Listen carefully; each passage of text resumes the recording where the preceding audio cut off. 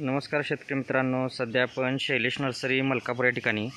आता बघू शकतो आपण हे सफेद चंदन लोडिंग चालू आहे आपलं. आता सफेद चंदन म्हटलं तर दहा ते बारा वर्षाचं पीक आहे. लागवड म्हटली तर दहा बाय दहा बारा बाय दहा बारा बाय बारा अशी करू शकतो आहे मध्ये मध्ये होश प्लांट लावावं लागते त्याच्यासाठी आपल्याकडं हा कडुलिंब आहे किंवा मिलियाड उभ्या एक झाड येतं सरळ वाढणारं ते पण आहे आपल्याकडं. किंवा इतर कोणतीही फळबाग घेऊ शकतो आहे लिंब किंवा कडू अ, मिल्याड उभ्या हे त्याच्यासाठी एक चांगला होस्ट आहे.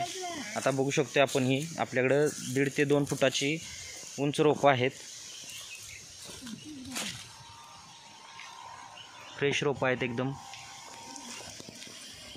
असं लोडिंग चालू आहे. हे आता भूम उस्मानाबादसाठी लोडिंग चालू आहे.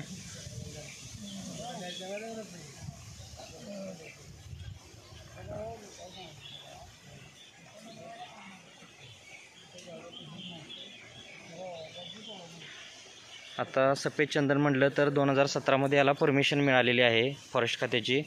त्यामुळे कोणत्याही परमिशनची गरज नाही. बऱ्याच शेतकऱ्यांचा विषय असतो की सर परमिशनची काय याला आवश्यकता आहे का?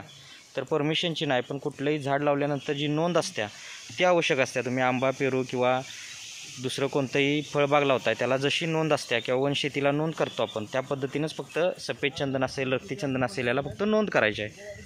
अधिक माहितीसाठी दिलेल्या नंबरवर संपर्क करू शकताय. धन्यवाद.